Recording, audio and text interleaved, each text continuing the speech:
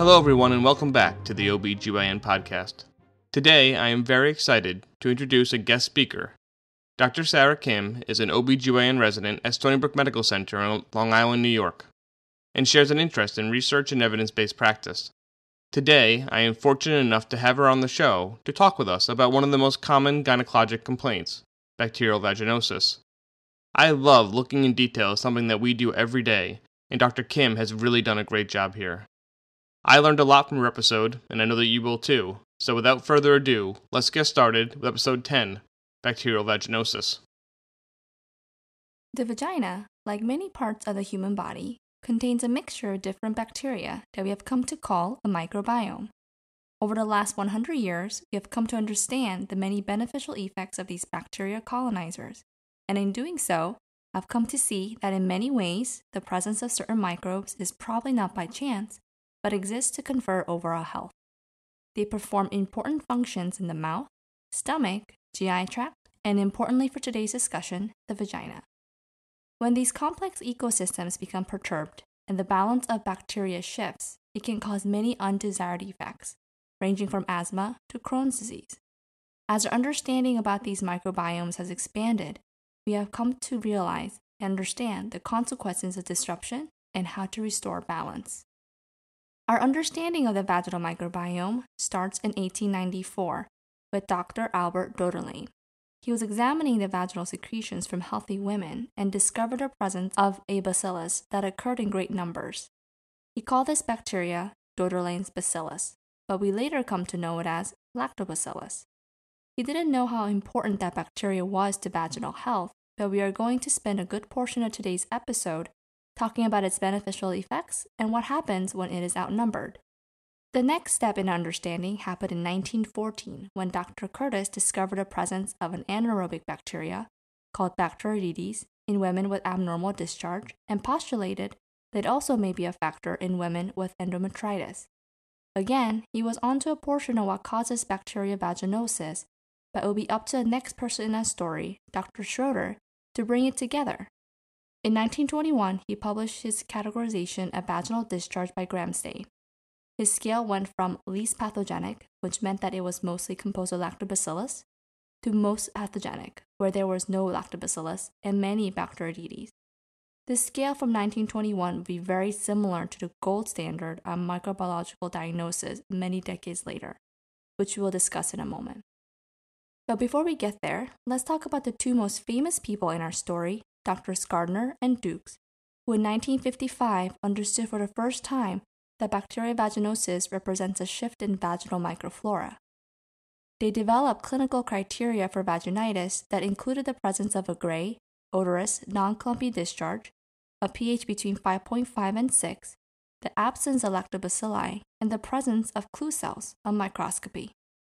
This was a major breakthrough in the diagnosis of BV so let's take a minute and break down each of these criteria down and try to understand it. The first is simple enough. By excluding clumpy discharge, they were trying to separate yeast infections from bacterial vaginosis.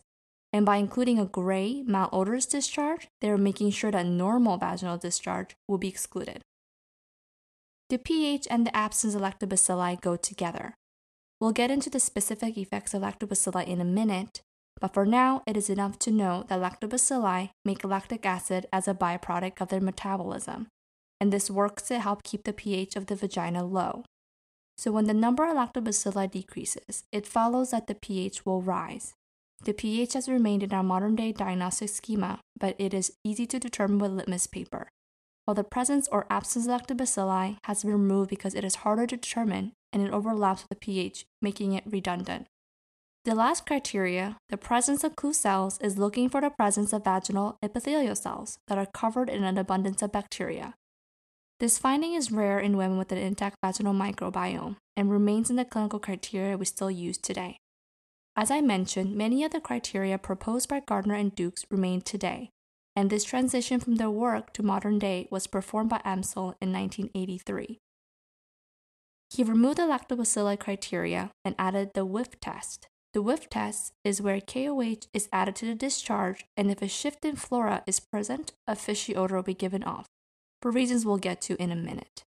These small changes resulted in a superior diagnostic test and remains the core of clinical diagnosis today. Gardner and Duke's prescient work on a standardized clinical diagnosis schema was a highlight of their work. The other part of their work led them down a dead end because they didn't understand how complex the vagina was from a microbiologic viewpoint. In the early days of the research, they discovered a bacterium that was present in over 90% of women, which fit their clinical criteria. They called this bacteria Haemophilus vaginalis, believing it to be of that genus. Later, DNA based studies would find it to be of a new genus, which was named after Dr. Gardner, and so now we call it Gardnerella vaginalis. No matter what you call it, doctors Gardner and Duke thought this newly isolated bacterium was the cause of all bacteria vaginosis, but in this case, they were wrong. In their defense, they did design a great study to test their hypothesis. They inoculated asymptomatic women with pure cultures of Gardnerella to see if they would develop BV. Even though they were later able to isolate the bacteria from a discharge of 10 of the 13 women in the trial, only one of these women clinically developed BV. They were rightly confused by this because they did not understand that there were many different bacteria involved in the process and that a complete imbalance of the microbiome was needed to affect BV.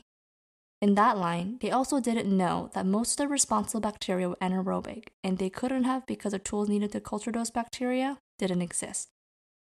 In fact, it wouldn't be until the 1970s that anaerobic microbiology advanced to a point where those bacteria could be cultured successfully. After this advancement, it was shown that many anaerobic bacteria, along with Gardnerella, were present in large numbers in women with BV and that Gardnerella alone was probably insufficient to cause the clinical symptoms associated with BV. With this new information and tools about the vaginal microbiome, a microbiological diagnostic schema was developed by Nugent to provide an objective method of diagnosing BV.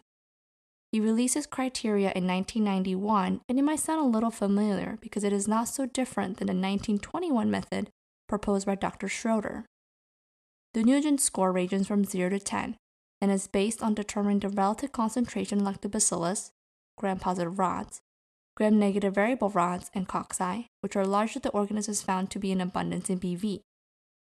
The Nugent score gives a value of 0 to 4 in three categories number of lactobacillus, number of Gardnerella slash Bacteroidetes, and number of curved gram negative bacilli. If the score is less than or equal to 3, the smear is considered negative for BV. If the score is 4 to 6 with absence of clue cells, the smear is considered indeterminate. If the score is 4 to 6 with presence of clue cells, it is considered to represent a shift towards BV, while a score greater than or equal to 7 is positive for BV. While the Nugent scores objectifies and standardizes how gram stains are reviewed, it is subject to viewer variability and is not readily available to clinicians due to the processing time. As we catch up to modern times, I think we can start talking about how BV actually develops. Well, first off, it is not an infection per se, but as alluded to before, it is more of an alteration of the normal vaginal microbiome, resulting in clinical symptoms. So, in order to understand the altered state that leads to symptoms, we need to understand how the vagina works in its normal state. In an unaltered vagina, the vaginal epithelium produce and secrete glycogen, which is a great source of fuel for lactobacilli, these bacteria metabolize the glycogen and produce lactic acid as a byproduct, which substantially decreases the pH of the vaginal fluid. This low pH prevents the growth of most other bacteria and keeps the vagina with relatively low levels of the other bacteria talked about, namely Gardnerella and anaerobes. When an external force is applied, such as menstruation or antibiotics, amongst many others, the levels of lactobacilli fall, and as the pH rises, these other bacteria outcompete the lactobacilli. As these bacteria increase, the metabolic byproducts increase as well, and it is these acids and amines that are responsible for the vaginal irritation and odor. These amines, in particular, react with KOH to give off the characteristic fishy odor associated with the whiff test. As any gynecologist can tell you, vaginitis is one of the most frequent reasons that women present for care, and the majority of those cases are due to BV. In fact, CDC describes BV as the most common vaginal infection in reproductive age women. When these women present, we need a quick and reliable way to diagnose what the responsible agent is and treat it. The four clinical components of Amsel's diagnostic criteria remain the bedrock of modern clinical diagnosis. To review, they are 1. pH of greater than 4.5, 2.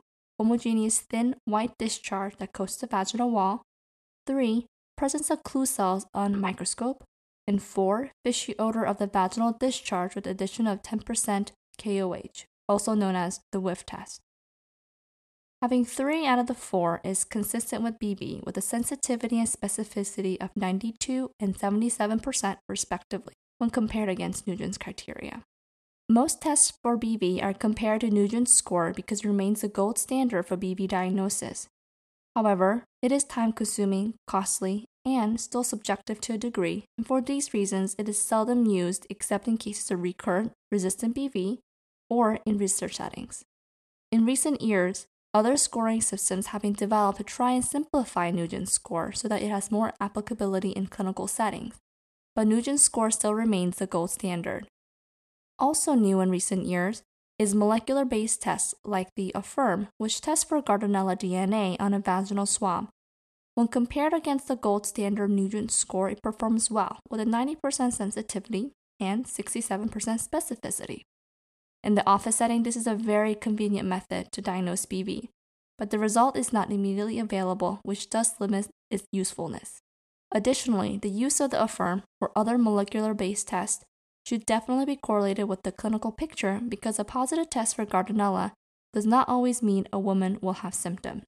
This point about preclinical or asymptomatic BV versus symptomatic BV is important to the next part of our discussion, it is tempting to think that if a woman doesn't have symptoms of BV, then we are treating a test as opposed to the woman. As I said, this is tempting, but may be wrong. The more we have learned about BV, the more we have come to recognize that even small shifts in the balance of vaginal flora may have serious effects. Keep this in mind as we move into the next section. So, moving away from diagnosis, let's focus for a minute on the ramifications of a BV diagnosis in non pregnant women, the most common complaints are odor and itching. For most women, these episodes occur rarely and can be treated effectively. For those women with recurrent BV, it can cause significant quality of life effects, and we'll discuss that when we get into treatment. The most significant effect of BV, however, are in preterm labor, post hysterectomy complications, and HIV, and so let's dive into those for a minute. A simple shift in the vaginal flora may not seem much, but can actually have some dire consequences in regards to preterm birth, low birth weight, and preterm premature rupture membrane. Multiple studies have demonstrated quantitatively and qualitatively that receiving a diagnosis of BV increases the rate of delivering preterm, which itself is a leading cause of neonatal mortality in the United States. In 1995, Hillier et al conducted a study that aimed to look at the association between bacterial vaginosis and preterm delivery. In 1995, Hillier et al. conducted a study that aimed to look at the association between bacterial vaginosis and preterm delivery in low birth weight infants by collecting vaginal swabs of pregnant women. Its conclusion was that microorganisms associated with BV were present in large numbers in women who deliver prematurely, but there was actually an inverse relationship between predominant lactobacillus and rate of preterm delivery. It was and remains an interesting finding, but why are BV and preterm delivery correlated? Do the different microbes actually reach the fetus? In 2008, Onderdonk et al. specifically looked at the bacteria present in the placenta of these preterm deliveries and found they were colonized by abundance of Gardnerella and other anaerobic microbes. Other studies have demonstrated that the presence of these bacteria have led to an upregulation of inflammatory markers in the newborn systemically, which have been adversely associated with developmental delays and brain damage. It is not surprising then that while knowledge of BV has been in existence for a long time and attempts to characterize the vaginal microflora has existed for decades, that with the additional knowledge of its effects on the fetus, that there has been a newfound focus and significant funding from the NIH to understand the vaginal microbiome and the consequences of its disruption. With such efforts to understand the vaginal microflora to prevent preterm birth, one may think why not just screen everybody and treat a shift in vaginal flora even in asymptomatic pregnant females? In 2003, Tebs et al. did a meta analysis of all studies between the years 1994 to 2001 to help elucidate whether routine treatment of all pregnant females was effective at decreasing preterm births. Most of the studies in the meta analysis looked at screening and treating patients who had risk factors for preterm delivery, like history of preterm birth, but there were a few studies that looked at low risk populations as well. The conclusion of this meta analysis is that routine screening in the general low risk population is not indicated and does not decrease the rate of preterm birth, at least in low risk populations. In high risk populations, the data is less clear and there may be a benefit for more aggressive screening and treatment. Current ACOG guidelines recommend treating symptomatic BV, but routine screening is not recommended due to the lack of evidence. Another area of concern regarding BV is in the post-operative setting, specifically its association with increased post-hysterectomy vaginal cuff cellulitis. A study by Larsson and Carlsson in 2002 specifically looked at this effect. In their study, women with and without preoperative diagnosis of BV were either prescribed 1 gram of metronidazole to be administered rectally the evening prior to surgery and for six more days following the surgery, or no treatment. They demonstrated a decrease in vaginal cuff infection in women with a preoperative diagnosis of BV were treated with metronidazole, with a decrease in cuff infection from 35.7% to 0%. In women without a preoperative diagnosis of BV who were treated, they still found a decrease, but it was much less dramatic, falling from 9.5% to 2%. The consequences of postoperative cuff cellulitis are unclear, and therefore the cost effectiveness of routine screening is up for debate.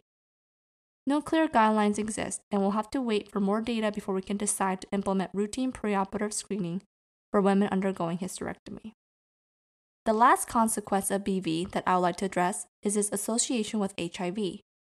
BV has been associated with increased risk of HIV acquisition and transmission through its alteration of the immune health, specifically in the vagina.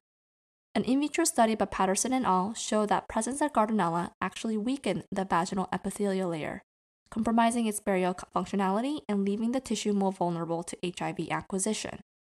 On a more molecular level, Vikarova and al. demonstrated how the presence of Gardnerella increased the production of RANTES, which has been shown in regions plagued by HIV epidemic in the sub-Sahara to be the single most predictive marker for increasing risk of HIV acquisition.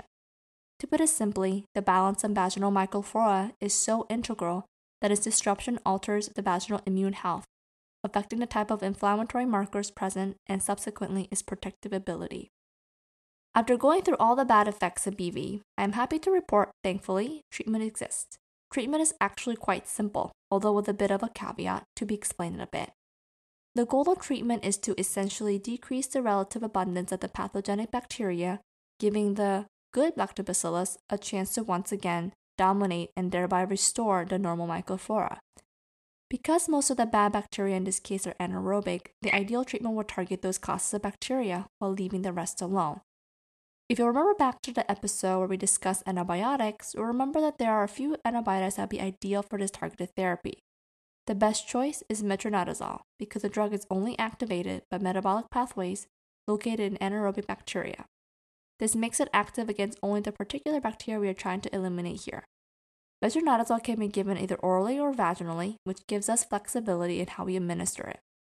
Alternatively, we can use slightly less good options like clindamycin and tinidazole. So, that sounds simple enough, right? This is where that caveat comes in. Unfortunately, about 30% of the women who are successfully treated will experience a recurrence within the next three months and often repeatedly. In these cases, the women can be placed on suppressive therapy of 0.75% metronidazole gel twice weekly for 4 to 6 months. These women could also be offered intravaginal boric acid 600 mg daily for 21 days and then suppressive therapy with metronidazole. Unfortunately, there is not much data on the efficacy on suppressive therapy, but for women who suffer from recurrent infection, it is at least something to offer, and unlike other sexually transmitted infections, treatment of sexual partners has not been shown to decrease recurrence. We talked a lot about how BV develops, its consequences, and its treatment. So let's step back and focus on who is at risk and whether there are ways to prevent BV. Multiple epidemiologic studies have shown that multiple sex partners, low socioeconomic class, smoking, presence of sexually transmitted infections, ethnicity, and immunocompromised state are associated with increased risk of BV. Ethnicity in particular is interesting, and in fact, African Americans are more than twice likely to have BV than women of European ancestry. That race should affect something like BV is, on the face of it, a little weird. To look into this, Fettweis and al. performed a study in 2014 in which they sequenced the vaginal microbiome of different ethnic groups noted to have higher prevalence of BV. Interestingly, they found that the vaginal microbiome in these groups differs significantly. Women in the high risk ethnic groups had greater microbial diversity and lower rates of lactobacillus. These differences persisted even after controlling for other risk factors like smoking and number of sexual partners, which suggests that depending on the microbes present, slight perturbations may shift the flora to the direction of BV more easily in some groups. Knowing that there may be inherent differences in the vaginal microbiome between people and the possible consequences that we talked about earlier, it makes us ask is there a way to somehow promote a healthier, more stable microbiome? Many people have been focused recently on probiotics, and there are currently several ongoing studies that are looking for new therapies aimed not only in treating but also preventing bacterial vaginosis.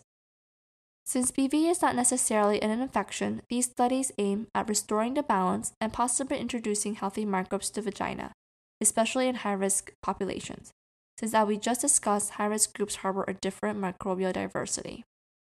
Going beyond prevention, Ling et al. in 2013 compared the efficacy of vaginal metronidazole with vaginal probiotics, which contain lactobacillus. They demonstrated that symptomatic BV improved in 85% of those who received probiotic therapy versus 45% in the metronidazole group, although the study did not look at quantitative measurements and only reported patient symptoms. But still, it's impressive. Looking at recurrence, Menard in 2011 looked at using probiotics as suppression compared to metronidazole. They found that probiotic suppressive therapy led to greater stabilization of the vaginal microflora, preventing a shift toward BV associated microbes. While these are promising, there are small studies using non standardized probiotic therapies and different measures of success. Until more work is done to study the complex nature of the human vaginal microflora and subsequently its role in promoting vaginal health, there are unlikely to be any guidelines regarding the use of vaginal probiotics. We are over a hundred years into our quest for knowledge about BV. We have learned a significant amount about the vaginal microbiome and its effects on many far flung health issues, including preterm delivery and overall immune health. We have learned to recognize shifts in flora before a woman even has symptoms, and we have just started to recognize that each woman with BV is different and that treatments may need to be tailored based on new molecular techniques. Bacterial vaginosis, something that on the surface sounds so simple, has turned out to have many intricate layers. What started out with Doederlein's discovery in 1894 of lactobacillus has progressed to today's sequencing of individual women's microbiome. While we have a better understanding of what defines BV, the players involved, and the consequences, there is still much to be learned. Thank you everyone for listening, and thank you Dr. Kim for that excellent review of bacterial vaginosis. I look forward to many more episodes from her in the future. And remember, if you have a topic that you want to hear about, or by chance you want to get involved and do an episode yourself, please contact me at feedback at obgyn.fm. We'll be back next week with the first episode on puerperal fever, so until next time, thanks for listening.